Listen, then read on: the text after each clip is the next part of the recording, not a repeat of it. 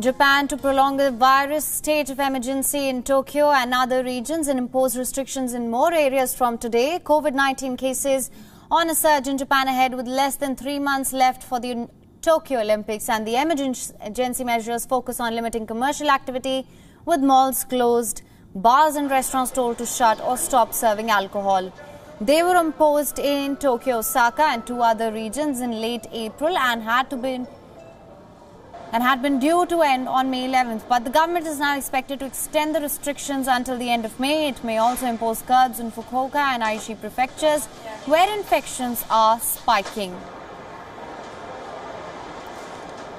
A formal announcement will be made later today. Japan's COVID 19 outbreak remains much smaller than in many countries with around 10,000 deaths, but its vaccine rollout is moving slowly and more infectious variants are driving fresh waves of the contagion. Record case numbers are seen in some regions and medics warn that hospitals are under strain. The pandemic postponed 2020 Olympics are due to open in July. On July 23rd, the government and games organizers insist that they will go ahead safely, although a majority of Japanese people support cancellation or another delay. US drugs giant Pfizer and its German partner BioNTech on Thursday announced a deal with the International Olympic Committee to provide vaccines to competitors and staff at the Tokyo Games. The pandemic has disrupted test events for the Olympics with several postponed, cancelled or moved abroad. Although the diving World Cup and rowing qualifier went ahead this week in Tokyo with athletes from abroad, several sections of the torch relay have also been moved off-road to prevent people gathering to watch. Olympic organizers are yet to decide how many fans, if any, will be allowed at the Games. Overseas spectators were already barred from attending the sporting fest.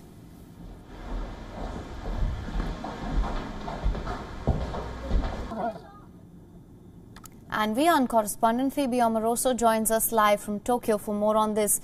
Phoebe, will this extension have any effect on the preparations for the Tokyo Olympics? I think that's a question that many people are asking around the world. Suddenly, from uh, the organizers' perspective, they are pushing ahead, full steam ahead, as it were.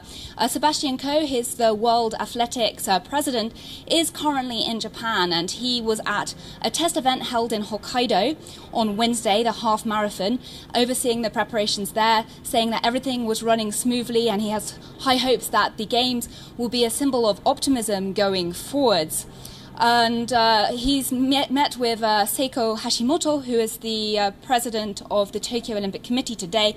We'll be waiting to hear her thoughts later on. And of course, as you reported, there is news that athletes will be provided with a vaccine, and that is likely to reassure many people and feel um, safer in coming to Japan. However, practically, the medical system here is under increasing strain. Um, several hospitals mm. are at maximum capacity for patients with serious COVID symptoms.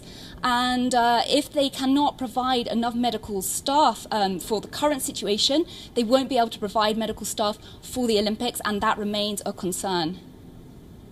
Yes, absolutely. Also, I was just going to come to that. There is growing sentiment against holding the Olympics amid the pandemic. What's the situation on ground?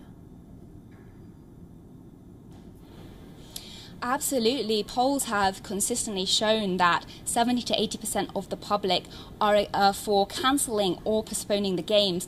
And just in the past two days, a new petition was launched online and just this morning, it has surpassed 200,000 signatures. From the public's perspective, there's not much to be gained. It looks like domestic spectators uh, will not be allowed. Uh, for businesses that were relying on uh, foreign spectators, of course, um, only athletes and the delegates come come into the country.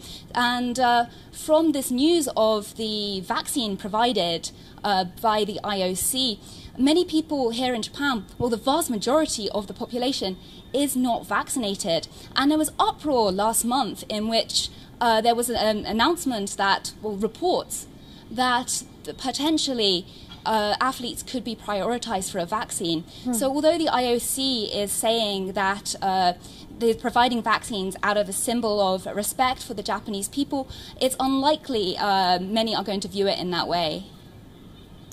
Yes, and what do you think these curbs will entail and will it include any new areas? A panel of experts were meeting this morning and they've approved the plan. And as you reported, uh, two prefectures, Aichi and Fukuoka, will now be included. Uh, Nishimura, who's the minister in charge of Japan's COVID 19 response, says it's still a very strong sense of, of crisis. So, but the measures will be ch- changed slightly. So restaurants that uh, provide alcohol um, will still be asked to shut, but large commercial facilities will now be able to reopen with limited hours. And sporting mm. events um, spectators had been banned, but currently uh, they will, well, from now on, they will be allowed to have 5,000 spectators or 50% of venue capacity. And one big change is that we heard um, from today, uh, JR East, which is a large train operator, um, runs Yamanote as a central line here in Tokyo. They had reduced capacity, uh, reduced the number of trains running in line with government requests, but that led to overcrowding and had it backfired. Some carriages 180% capa- um, over capacity, so they will be running at normal schedule. As for other areas in a quasi state of emergency, those will largely continue, although there's one area in the north that will be removed from these measures. Overall, however, they are being expanded. All right, Phoebe, thank you so much for joining us with all those details on this. WION is now available in your country. Download the app now. Get all the news on the move.